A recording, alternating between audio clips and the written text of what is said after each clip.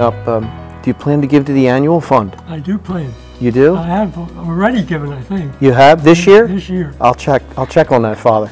Uh, how, how long have you been given to the annual fund, Father? for a long time. Uh, 40 years, Forty years. probably. Nice. You've been giving to the annual fund for a long time. Why?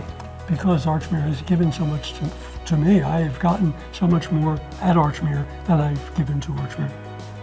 Well, I don't know about that, but it certainly is um, a generous way to give back. And you have been doing that since 1970? When did you come? 70, 70? I did. Nice.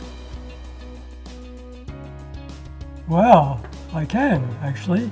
This uh, kind of sums up Archmere's motto.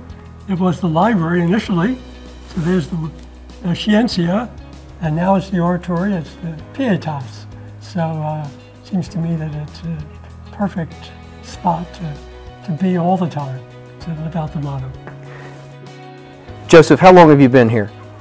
49 years, And started as an English teacher? I did. Yeah? Mhm. You taught me in religion. I did.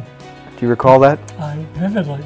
My first my first semester as a religion teacher, Y- You know, you gave me a C plus in class, correct? I do remember. you- 19 You have reminded me of that. 1978? 78? 78. Uh, 79, actually. Marriage and the family. Marriage in the family. Thanks, Father.